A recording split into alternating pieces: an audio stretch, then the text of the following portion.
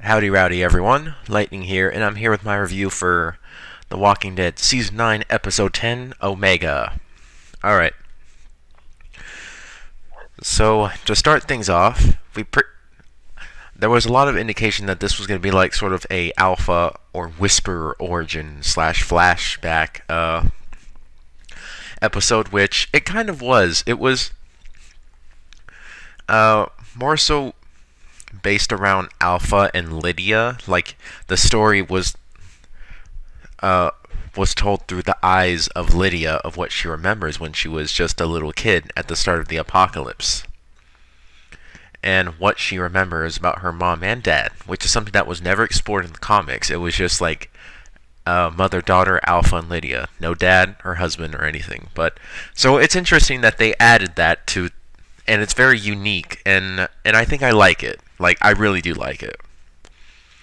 So the husband to Alpha is uh, Frank, and he and he is also the father to Lydia. So it kind of starts off with like Frank telling Lydia like nobody's coming, and just sort of giving her this dead look, uh, dead look with his eyes. And basically, when we get when we get all the flashbacks and stuff from this episode, it's mostly Lydia telling uh, Henry most of the stuff, and she's also a point at a moment where she tells Daryl a lot of the stuff as well. But most of it she tells Henry because Henry's still in the cell, and then Henry, being very naive as he is, told Lydia about the kingdom where he's from and about his parents who are the leaders of the kingdom. Daryl comes in and is like, What is wrong with you? Why are you telling her about the kingdom? In which he's right about that, and then Henry calls Daryl an a hole and walks off. so that was uh, very stupid on Henry's part to tell Lydia all of that information. You don't just give that stuff up. You, I mean, he may like Lydia and believe she's a good person, but he doesn't even know her that well. Like, he needs to just slow down a little bit.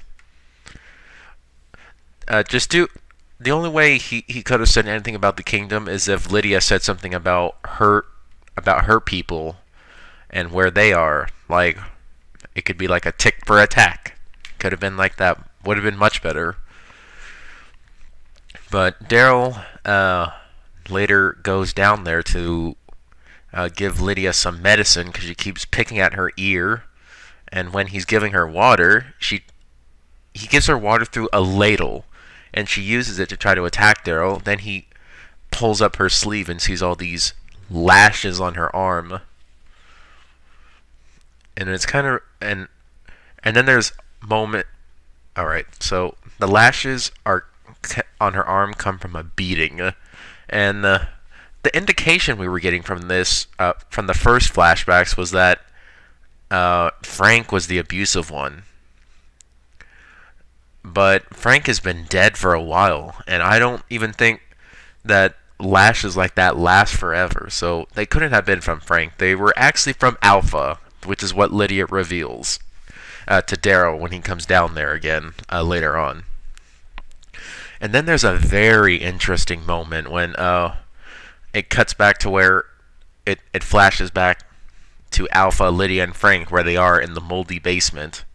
I think the first flashback we saw, it was 23 days in. Then the next flashback we saw was 43 days in, so it's like 20 days later. One of the guys, I think his name was Matthias, started freaking out. And he started like calling for help as there was gunfire going on outside the moldy basement, along with uh, a bu- you could hear walkers in the background as well with the gunfire. And Alpha's like, "Shut up, you stupid idiot! You're gonna get us all killed." Then he throws him to the down or he throws him to the ground and suffocates him, crushing his windpipe. Like, dang. Alpha just went full savage. And it kind of indicates that she was already a crazy person to begin with. And then Frank was holding Lydia and starts to like sing to her. He's like, Lydia, oh Lydia, the tattooed lady. I don't remember how it goes, but he has like the tat he has the name Lydia tattooed on his arm. And we saw Alpha had that at the beginning. So what what I'm trying to say is that Lydia kept getting her story mixed up. She didn't know which one of them had the tattoo or if they both had the tattoo. And the big reveal of this is like all the moments we saw of Frank hinted at being the one that being abusive uh, was actually not Frank. It was actually Alpha, her mom, who was the abusive one the whole time. And like there was a part where Frank cut his beard with some scissors, saying, "The world's over. I'm doing what I want now." And that was actually Alpha who cut her hair off instead. It wasn't a Frank, so it was like a role reversal. And the only reason why Lydia remembered it that way of her father being the abusive one was because her mom told her or what happened over the many years. Said that said that Frank was the abusive one, your father Frank was the abusive one, I was not, I cared for you. And also told her that her father got bit by a walker and that it was her fault, but he saved her when that was actually not the case uh, Alpha killed Frank because uh, he because he was putting because in her mind he was putting their daughter Lydia in danger by not leaving because there was chaos breaking out because that guy that Alpha suffocated reanimated and started attacking causing a whole bunch of chaos. And Alpha was like we need to leave. And then Frank is like no, Lydia stays with me. You can go if you want, but Lydia stays with me. And then Alpha's like, the hell she does. And then she kills Frank right in front of Lydia and does the iconic shh. So that's where it comes from. That is very disturbing. She's like, shush, Lydia, while I kill your father right in front of you. That is messed up. But, so what we out of all this is that uh, Alpha was sort of just a crazy person, even at the start of the apocalypse, and that th- that it just emboldened her even more to be the way she is now. Like she was all indicated that was, she was already kind of that way, but the start of the apocalypse and the world ending, it just sort of emboldened her and made her embrace her uh, embrace her brutality uh, uh, even more. So she was kind of already that way. And then uh, there's also a PTSD moment for Lydia. Like at night, Henry lets her out because he wants to show her around. And probably the most disgusting thing is they both eat worms. Like Lydia eats a worm and then she grabs another worm, sucks the dirt off of it, and gives it to Henry, who eats it. Like, what are you doing, Henry? Ugh. That was really gross. But at least she was nice enough to clean it for him. Like, she just ate one with dirt on it. She, like, sucked the dirt off of it for him so he could eat it. And then, uh, Henry continues showing Lydia around, and she like grab, she has a hammer behind her back, and she's getting ready to smash Henry over the head with it, and but then she puts the hammer down once she starts hearing a baby crying, which triggers like this flash of memories like a PTSD moment. And in one of the flashbacks it shows her mom Alpha holding holding a walker mask and saying put it on. This is how we live. And that is so messed up because uh why what what what would you do if you were so young like Lydia was and your mom tells you, "Hey, put this on. This is how we live." Like this is the only way we can live. That is just messed up. And then on top of that, on, on top of the fact that Alpha uh, physically abuses her, like beats her Oh man, so this episode got very deep and especially into topics like domestic abuse and such. And speaking of which, Henry revealed to Daryl about why Carol kept her hair so short, saying that her first husband, Ed, would grab her long hair and throw her up against the wall, so use it against her, so she just cut it all off so he wouldn't be able to do that. And the reason why it's so long as it is right now because it took her very long to feel comfortable and safe again with Ezekiel. So at least we now know why her hair is so long. It's not just like, oh, I just want to grow my hair out. There was a there's a meaning behind it. So very deep episode, especially to topics like domestic abuse, as I said. And then there was a little side plot that was happening with Magna and her group. So Magna and her group uh, go out with Tara and a couple other hilltoppers to look for Luke and Alden. They find their hor- horses being chewed on by walkers, or being eaten by walkers, and then Connie discovers that the horses were cut open with knives, skinned. So the Whisperers like skin the horses, probably for their hide, because it's gonna be cold. You gotta use all the animal hide you can get.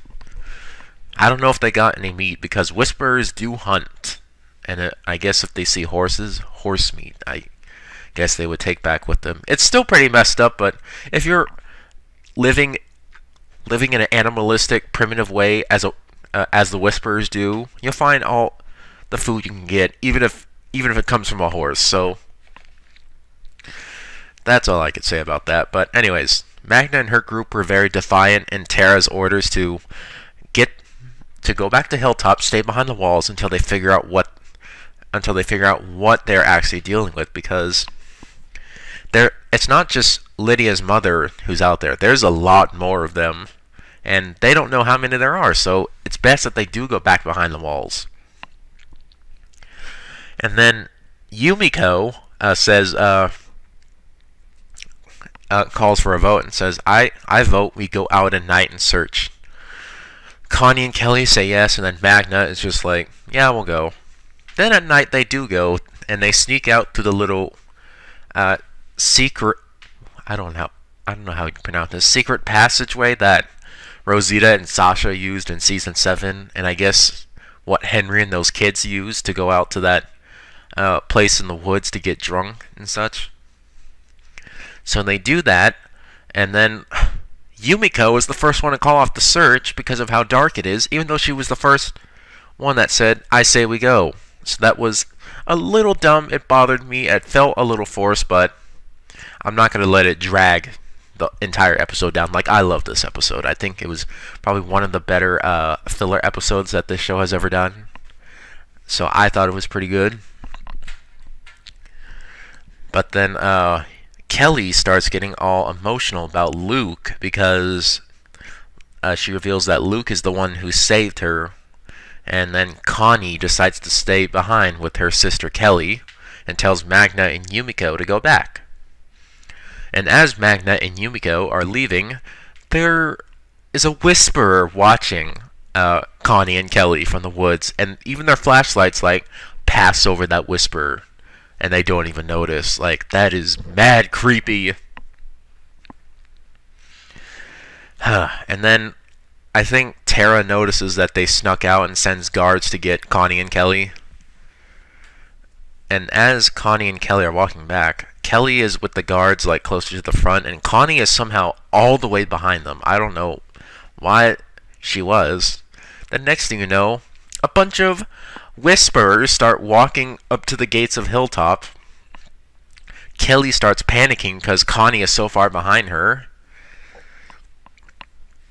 But Kelly is forced to get back inside Hilltop, and Connie hides uh, in the crops, specifically in the cornfield, to hide from the Whisperers. And that makes me really nervous because she can't hear them. And she also can't hear the noise she's making within the crops because they'll probably hear some ruffling going on in the crops and they're going to assume somebody's there. And she, Connie is deaf. She can't hear them. She can't hear the whispers whispering, and she can't hear the noise she's making by going through the crops. So I fear for Connie, but I think she might make it out in next episode, which I'll say for uh, my predictions of episode uh, 11. That's coming out tomorrow, just a couple hours before uh, it premieres. All right. Anyway, so Alpha and the Whispers walk up on Hilltop, and and we see Alpha walk to the top, and we finally walk to the gates, and we finally see what she looks like without her mask on, and oh boy, she looks terrifying. Like she has all this dirt on her face. She just looks so good. Like like I really like the makeup and special effects they did uh, with uh, Alpha, and I must say Samantha Morton is doing such a good job as Alpha. I'm really impressed with it, and I'm really digging. I'm really digging the accent now. A lot of people didn't like it at first, but I'm really digging the accent now. But she walks up to the gates and says, "I am Alpha, and we only want one thing from you, my daughter." And then the episode ends. So the cliffhanger is Alpha shows up at the hilltop and announces herself and, and announces her presence. And it looks like in next episode the exchange is gonna happen. But my thing is, is uh, where is Luke and Alden? Are they dead? Are they alive? But we'll just have to wait and see. Alright, but that's going to be it for my review of The Walking Dead Season 9, Episode 10, Omega. So, anyway, guys, this is Light T25, Real T25 signing off. I will see you for my predictions for Episode 11, titled Bounty. Anyways, thank you so much for watching, and goodbye. Thank you